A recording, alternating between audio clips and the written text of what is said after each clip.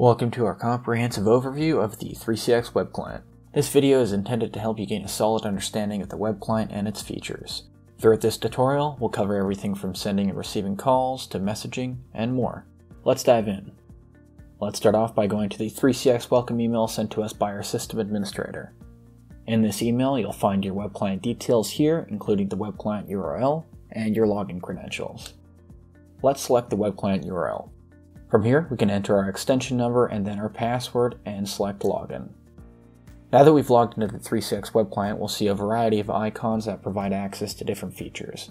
At the top of the screen, you'll find your extension profile, the currently selected navigation panel tab, the 3CX dialer, and a QR code for configuring the 3CX mobile app. Meanwhile, the left-hand side of the screen houses a navigation panel which contains a range of menus for accessing various features. Now let's dive deeper into some of these menus and features to help get you started. Let's start by exploring the 3CX dialer and how to make and receive calls. When you open up the dialer, you'll see a keypad where you can enter a phone number, name, extension number, or email address. Once you've entered the information, simply select the handset icon to initiate the call. Additionally, you'll notice the call using function at the top of the dialer if you have another phone registered to your extension, such as a desk phone, you can select it from the drop-down menu. This feature enables remote control of the selected phone via the web client. In other words, control via the web client and talk via the selected phone. On inbound call, you can choose to answer the call, decline the call, or send the call to your voicemail. Now let's take a look at some of the in-call features. To transfer a call, we have two options, if we select transfer and key in a number or extension, this will immediately send the call to this number. This is known as a blind transfer. If we select attended transfer, this will put the caller on hold and allow us to speak to the receiver before the call is transferred. To conference another user or phone number, we can select conference and enter the number or name of another person. When they've answered the call, they will be automatically added to the existing call. If we would like to record a call, we can select the record button. To stop the recording, we can simply select the record button again. These recordings can be accessed via the Recordings tab of the web client. Please note that recording permissions would have to be enabled by your admin. To initiate a new call on a separate line without hanging up the current call, we can select the New Call button and enter the name or number of this callee. We can also elevate a call to a video call by selecting the video icon here.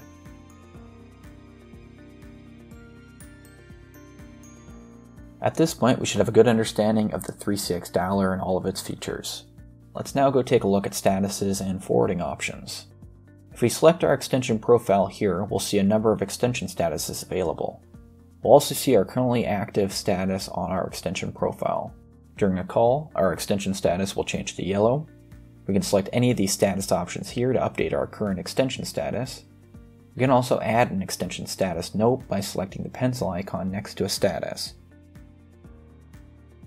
Here, we can choose to set a temporary status which will revert back to our current status after the selected time has elapsed.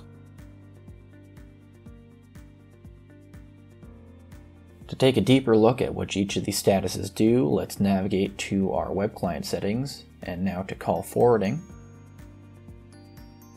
This section on status forwarding allows us to customize inbound call handling based on our current extension status. Essentially, this means when a particular status is active on our extension, calls will be handled according to the configuration set up for that status.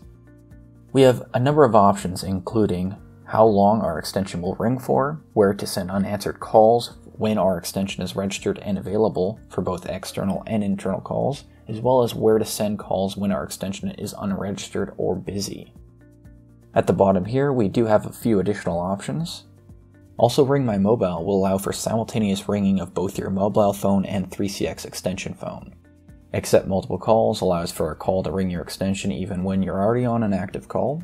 Accept push notifications will allow the 3CX web client to show call notifications when your 3CX web client tab isn't your currently selected browser tab.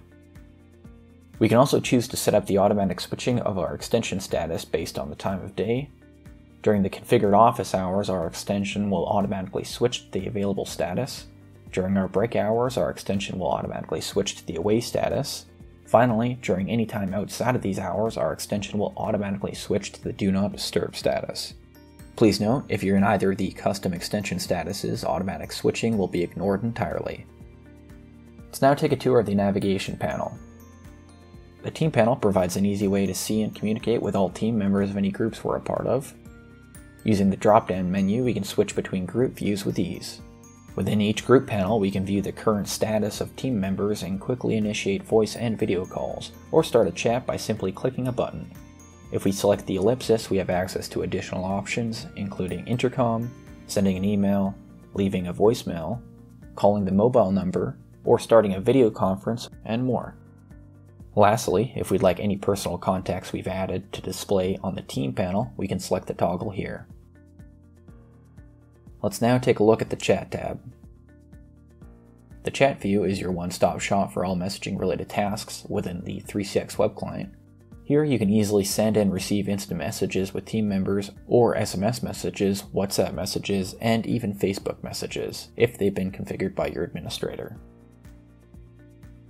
To help streamline communication, group managers can create and edit quick response chat templates which allow users to respond with predefined messages, greatly reducing response times. You can even use placeholder values that will automatically input text based on things like the customer's contact name or your extension's mobile number. These templates can be sorted into different categories and languages for maximum efficiency. Let's move on to the Meet tab. This enables you to create voice, video, and webinar style meetings quickly and easily. With this feature, you can hold ad hoc meetings on the fly or schedule meetings in advance, making it ideal for team collaboration and client meetings. If you're new to conferencing or would like to learn more, we highly recommend checking out our 3CX conferencing video, which provides a detailed overview of this feature. We've included a link to this video in the description below. Moving on to the Calls tab. This allows us to view all of our extension's call history. We can sort call history by all calls or incoming, outgoing, missed, or abandoned calls. Additionally, we have options for callback, starting a chat, or deleting any call history entries. Let's move on to the Panel tab now. The 3CX panel view displays real-time queue statistics allowing managers to direct resources to where they are most needed and ensure 100% first contact resolution. With this feature, important call center metrics such as callbacks, waiting time, and abandoned calls can be easily tracked and analyzed. The 3CX panel view can even be used with a projector or big screen for easy visibility. Let's go ahead and take a closer look at the panel view. In this view, we can see any currently active calls and perform various operations depending on the permissions provided by our admin. We can barge into the call, listen in, whisper to the user extension, transfer the call to another extension, park the call, or even drop or record it.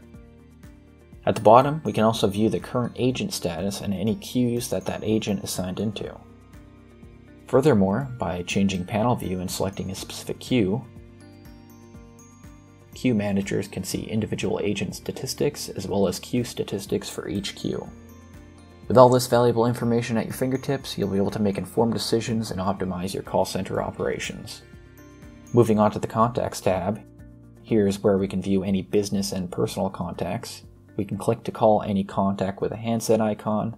The plus icon lets us add a new personal contact to our contact list.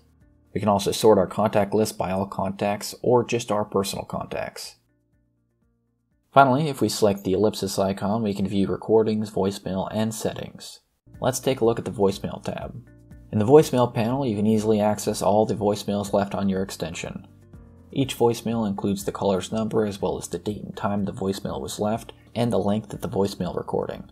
Any voicemails you haven't listened to will be bolded.